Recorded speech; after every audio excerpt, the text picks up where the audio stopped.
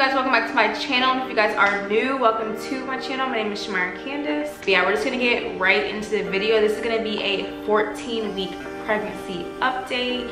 But yeah just updating you guys on basically my symptoms how i'm doing so far what i'm eating I'm just giving you guys an update on my doctor's appointments as far as my sonograms. I'll show you guys a couple pictures. I also wanted to share with you guys a new product that I am trying out. Also give you an update on how my belly looks. Um, so yeah, let's just get right into the video.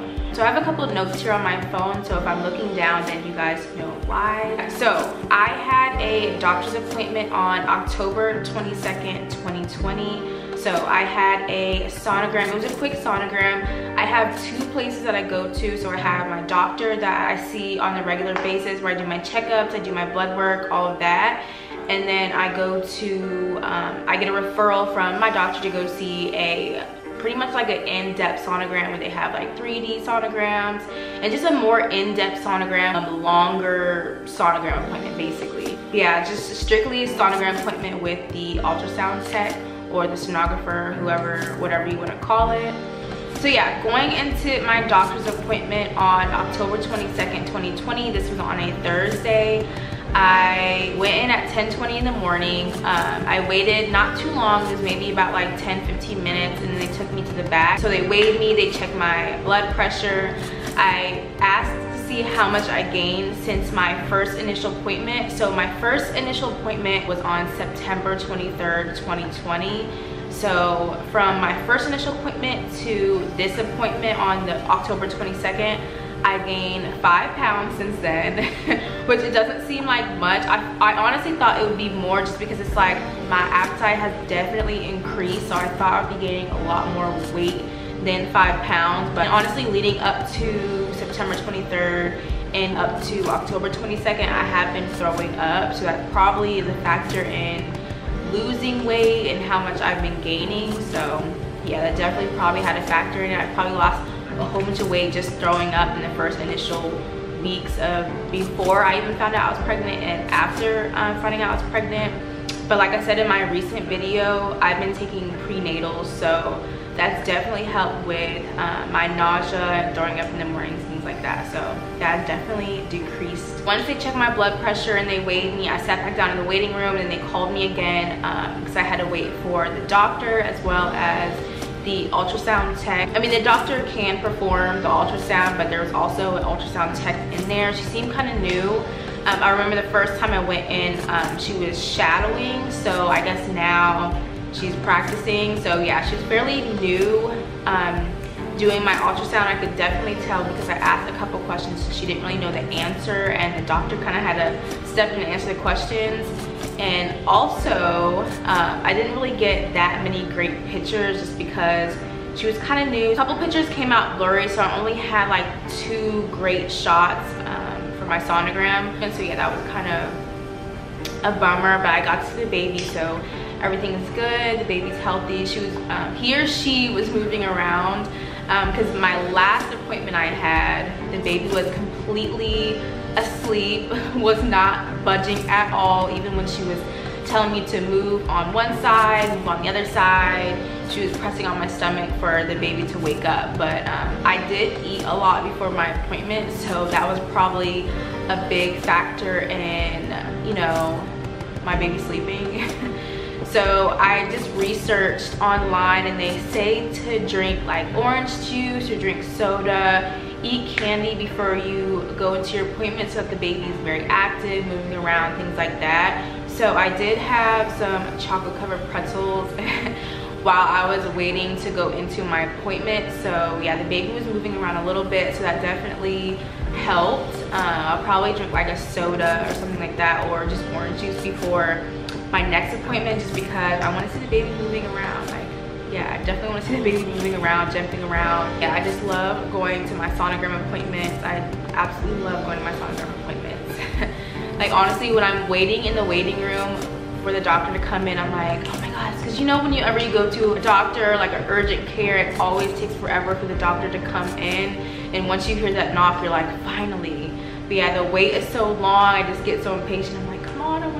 Baby. Oh yeah, um, yeah, I'm getting sidetracked. And honestly, I'm so mad. I wish I can show you guys the video of uh, my sonogram appointment of the baby just moving around in my stomach but I honestly thought I was recording but apparently I was just holding the camera up to the screen and I just didn't press play I thought I did I don't know what happened um, so I only captured two seconds of the sonogram so mad about that I wish I could have recorded it so I can look back for myself because I'm always looking at my sonogram pictures in my phone and um, the ones that I have at home, I'm always looking at them. So I just wish I had that video, but it's okay. I'll have plenty more appointments to go to. And um, yeah, I'll definitely show you guys the next time. But yeah, the baby was moving around. The baby, at one point, the baby was just chilling, laying on its back and it had its left foot or its left leg over its right and its left um, left arm just chilling like this. And it's so crazy because that's like exactly how I sleep. Anyone who knows me knows I don't sleep with a pillow. Like I honestly just sleep on my arm like this which I'm pretty sure it has some type of negative effect but that's just how I sleep. I've always slept like that and that's exactly how the baby was just chilling. So I'll throw in a picture of that I thought that was like completely crazy. So I'm like oh just like a little mini me. But yeah it already has like habits or traits that I have, which is pretty crazy. Once the sonogram was over, she basically did blood work and this blood work specifically was for testing any like syndromes and also this test was specifically for gender as well gave me a pamphlet so i can easily just go online to check to see if it is a boy or a girl i don't know if i want to look or not i know he wants to i know he wants it to be a surprise he does want a girl but he also wants it to be a surprise. So I don't know if I might just like take a peek and then, you know, like I'll keep it a surprise for him.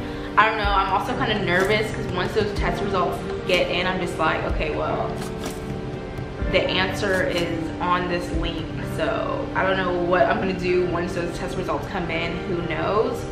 Um, so yeah, she took like five vials of blood again and I hate needles and I was actually messaging my friend. We're all in a group message. So I was messaging my friend because she actually had um, a baby not too long ago as well. So um, I was saying like, oh my God, I hate needles. And she was just like, girl, you better get used to it. They're gonna be old in your blood for the next, you know, couple months. And I'm just like, oh my goodness. but yeah it wasn't that bad um, when she took my blood i just was trying to distract myself she was asking me questions um, stuff like that. So I'm gonna get into the symptoms that I have. Number one thing that I have noticed is that my appetite has definitely increased, like definitely. So the things that I would eat on a normal basis, like before I was pregnant, I would just be full off of. But now it's like I eat it and then I have to eat it times two. So if I were to make a sandwich and some chips, I would have to make two sandwiches and chips or if I have like a meal I would have to pretty much not twice as much but just like add more just because it's like this is not filling me up. So sometimes if I eat a meal I'll still be hungry. I don't want to be completely full where it's like my stomach is in pain but I'll have like cereal afterwards or just like yogurt or something just to kind of fill everything in just to make me not completely full but just like satisfied you know? So yeah i've definitely noticed a big change where it's like um, even at work where i'm taking my lunch it's like i'm taking two sandwiches now or i'm taking twice the amount of fruit. As far as cravings i really haven't had too many cravings for any crazy things or cravings for like sweets or salty things. I think it's just been I just feel like it's just been normal. Like I've always had a craving for chocolate after I eat. Um, not every single day, but every now and again I want chocolate after I eat. Yeah, it hasn't been anything where I'm waking up in the middle of the night and I'm craving like pickles or anything like that. I feel like it's still too early maybe, maybe not, but I still feel like it's still too early to get those strong cravings for food. So yeah, as far as cravings, it's been just completely normal. Foods that I do eat, I'm pretty much back to just eating like the normal things that I usually eat except for steak. I don't know why that's still just a thing that I just don't want to think about or eat, anything like that. Um, but yeah, anything else, I'm pretty much can just eat pretty much about anything. So another symptom that I've been having is lower stomach pressure and also um, back pain. So as far as lower stomach pressure, I, I feel like it's kind of gone away now, but for the past week, it's definitely been pretty bad. Um, especially when I'm laying down, there's like a lower stomach pressure. And sometimes if I press on my stomach, um, it'll kind of go away. So maybe the baby just moved around or just moved from that position. So I just like press on my lower stomach just for the pain to go away. As far as back pain, back pain has definitely increased, especially my tailbone. Tailbone pain is unbearable.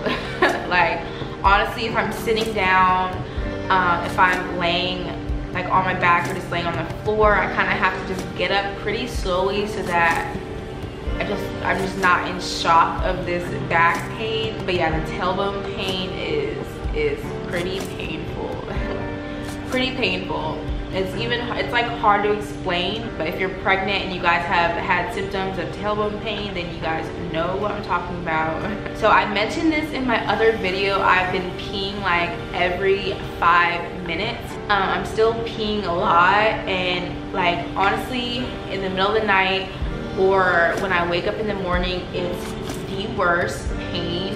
It's not like pain, but it's just the worst like I had mentioned before, it's just the feeling of you having to use the bathroom so bad and it's like you're in the car and the next rest stop or the next McDonald's isn't for another like two, three miles.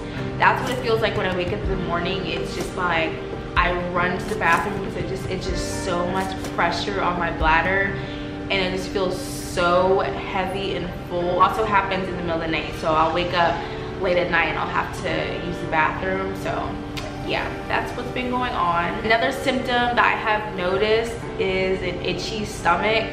So I've seen this in just watching other videos of um, pregnant women um, as your belly stretches. And mine isn't really that big for it to be itching like that, I don't think. But I've just noticed that in pregnant women who are further along than me and who are a lot bigger, um, their stomach will itch just because of, you know, your stomach is stretching out and then you also don't want to scratch your stomach because that also um, inhibits stretch marks, which I do not want stretch marks, but I guess that comes along with pregnancy.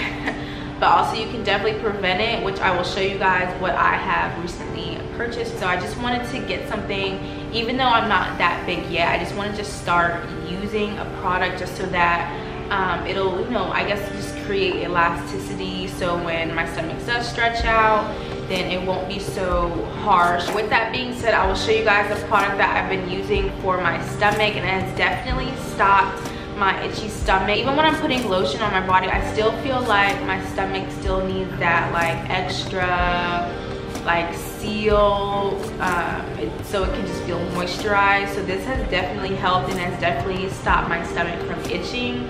So this is, I'll show you guys the packaging. So this is the Mambino or Mambino, however you say it, Organics Oh Baby Anti-Stretch Belly Butter. And it is organic, y'all already know me and organic. This is what the packaging looks like.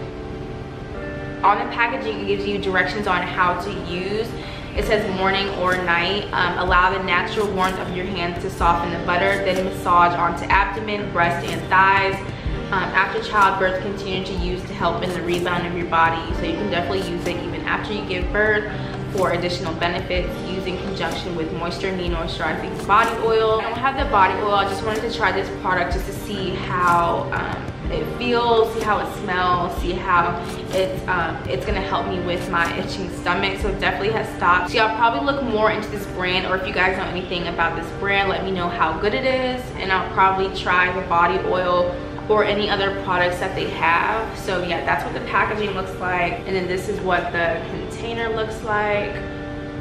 And I'll show you guys what it looks like.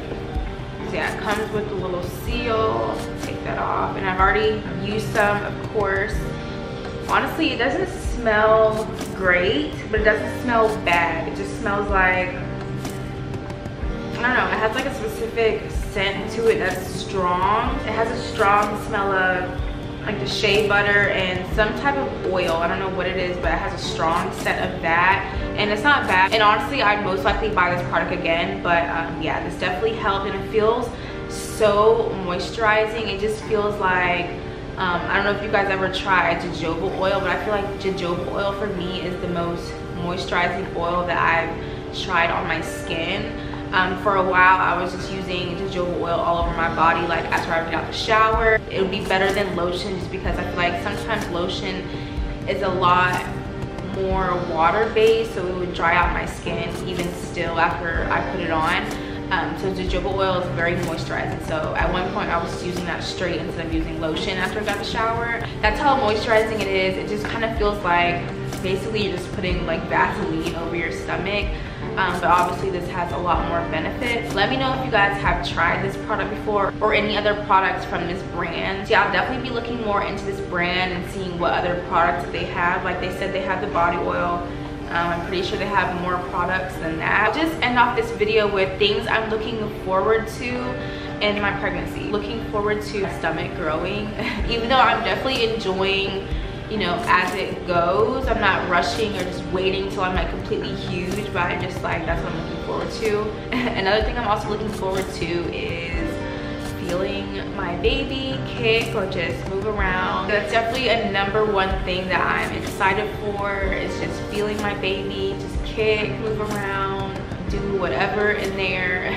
Right now, I know he or she is like moving around a lot, um, but I just can't feel anything. It's just crazy to think that like they're just doing, just jumping around, they're doing somersaults whatever, flipping upside down, all this stuff, sleeping and I just can't feel a thing. So sometimes I think like, I wonder if my baby's asleep. I wonder if she's jumping around. So I can't wait for me to actually feel those movements. But like I said, I'm just honestly just enjoying it right now. Like just not rushing anything. It's crazy to think that I'm three months and I'm not like big at all. I'm just, I don't even look pregnant. So if people were to look at me, honestly, you would never guess I'm pregnant. Last thing, I'll just show you guys my belly shot and I want to thank you guys for watching this video. If you got to the end of this video, don't forget to like and subscribe. Comment below. Let me know what you guys want to see more of and I'll see